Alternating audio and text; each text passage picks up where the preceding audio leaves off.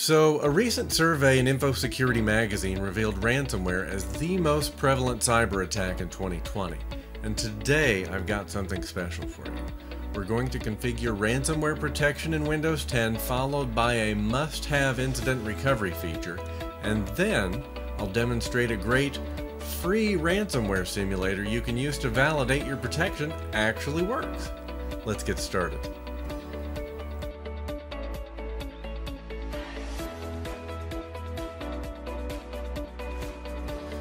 So if you've not fully implemented and tested ransomware defense on Windows 10, this is going to be a great use of the next 10 minutes of your time. And as I mentioned, we're going to wrap this session up with a great free tool that will allow you to simulate ransomware attacks.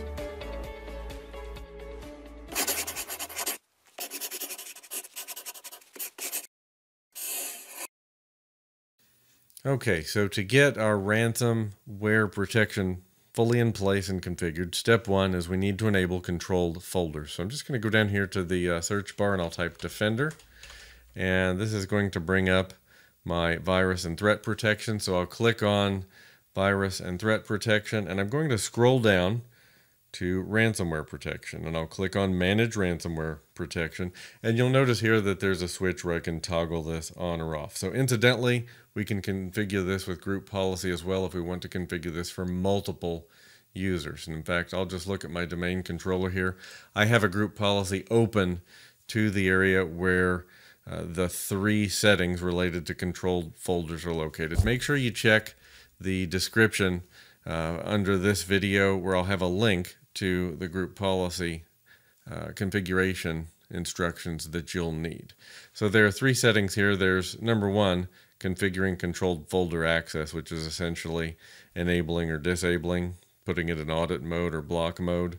Um, so, so really allowing you to configure your uh, rollout process because generally speaking, you're going to enable audit mode first just to see what might be blocked. You're going to roll this out using uh, you know, some sort of ring theory where you have a, a tight uh, limited pilot, then a broader pilot, and then full deployment.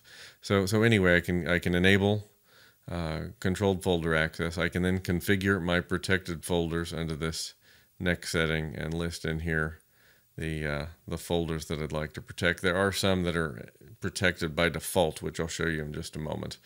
Uh, and then I can configure my allowed applications. In my experience, you're going to find that while Defender Antivirus is automatically determining which apps should be trusted, you're going to need to come in here and add some of your, your line of business apps and your third party apps. Okay, and again, instructions in the uh, within a link in the uh, video description, so make sure you check that out.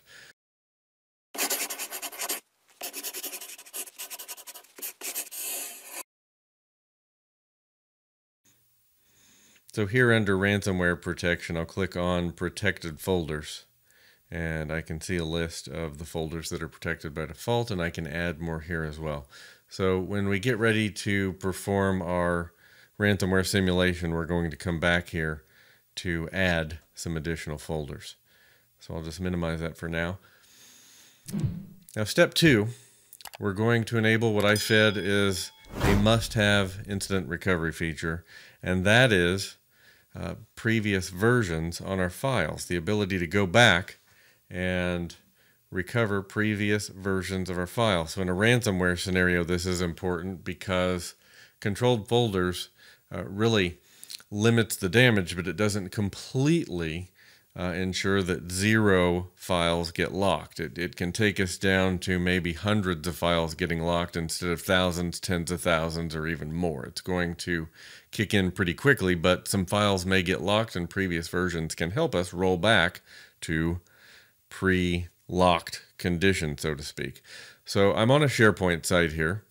And this is really just where I have a document library, and I'm going to go to the uh, the gear in the upper right here, which is settings and then I'll go to site contents. And under site contents, I'll get a list, of, of course, of my site contents, and I'm going to go to documents and to the ellipsis by the documents folder, those three dots. And I will click on that ellipsis and click settings again. And under here, I'm going to find the versioning settings. Don't worry about that crazy long navigation. Go to the description below the video, a link for this, uh, the instructions for this step as well. So basically step two. And you'll notice here that I've configured uh, creating major versions. So this is going to give me versions one, two, three, four, etc.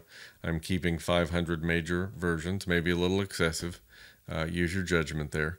And what this results in, when I just go over to my document library, I'll look at here in my doc library, I've got a text file, and I'm just going to click on the ellipsis, those three dots right next to that file. I'll select version history, and you'll see here I have a version history, so I can roll back to a safe version of the file. So I like to have that in place as a protection mechanism. And that is step two. So the final step is we're going to talk about what I mentioned as a great free ransomware simulator. Speaking of free, your Azure VMs are billed by the minute, so you only want them running when you're using them, and that's where the Azure Resource Scheduler comes in with a simple web UI to schedule your VM starts and stops, a free tier that fully covers smaller environments like your dev and exam prep lab, and it's now available in the Azure Marketplace.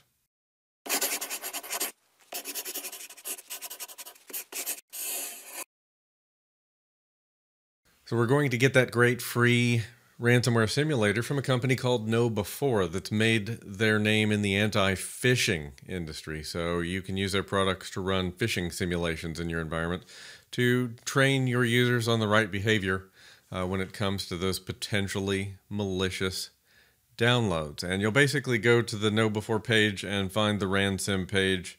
Uh, I have a link down in the description below this video, of course. And really all you have to do is you know, first fill out the form here. So you're going to give them just the, the standard information, name, email, uh, location, and your industry. You'll notice they don't even ask a company name. I suppose they pick that up from your email address. And then you get this nice welcome email that has a download to the RanSim tool, as well as a link to the instructions. Easy peasy. So you're going to download a single uh, executable. It's just a single .exe file. Uh, the one downside I would say to that uh, .exe file is that Defender actually sees it as ransomware. It's mentioned in the RanSim product manual. So essentially you have to set an exception, get it installed, and then we have to enable controlled folder access. So assuming you've turned the feature on, there are a couple of, of changes you need to make. Number one, uh, as we perform the test, we'll need to add the test folders that are created in the uh, KnowBe4 uh, directory that's created at the root of your C drive. Now you'll also need to add some applications as exceptions to controlled folders. Specifically, they have you add command.exe and notepad.exe, which are both Windows system utilities, as well as a start.exe in the KnowBe4 directory. That's theirs. So essentially, we'll go to virus and threat protection and then to ransomware protection, and we'll click on allow an app through controlled folder access. We're going to add those three executables, which are leveraged by the simulator. So once you have those added, we should be able to run simulations without that being caught, uh, those, activities being caught uh, preemptively as malicious. So if I go into that KnowBe4 directory under RS Simulator, you'll see a test folder and uh, there's a folder that contains the test and another that contains the test files that get copied out for the test. The test files are just uh, essentially Office documents and images. So just know that's down there. Uh, so you, you can see I've run the test before here. So I've, I've already uh, whitelisted some of these by, or protected some of these by adding their folder from the right column into controlled folders. So what I'll do is for strong crypto net here, I'll, for that variant, I'll go ahead and add that folder under controlled folder protection. So as those files get copied in there, they will be protected by the controlled folders feature, which means we should see that test, which currently shows as red on the RanSim UI, flip to green. So uh, once we've added that to controlled folders, I'm going to hit check access. This normally takes a couple of minutes to run. I'm going to fast forward this and you'll see it uh, complete here in just a handful of seconds. But the important part, important part being that we'll see that flip of the strong cryptonet to green, which in fact we do. And you can simply rinse and repeat uh, to perform that simulation across all of these many variants that are covered uh, by the KnowBe4 RanSim tool. So really, uh, a great tool in its own right, and and something you should incorporate into your periodic uh, process of, of simulating phishing. I really see this as something you could run alongside your your uh, phishing simulations to make sure that uh, user behavior is where it needs to be, and you know couple that with some user education, and I think you're good to go. And there you have it. That is step three. So now you have uh, ransomware simulation so you can prove that you're protected. If you like what you saw today, be sure to subscribe and hit the notification bell so you get a heads up anytime we drop a new video. If you have questions, leave us a comment, reach out on LinkedIn. Good luck, take care, see you in the next video.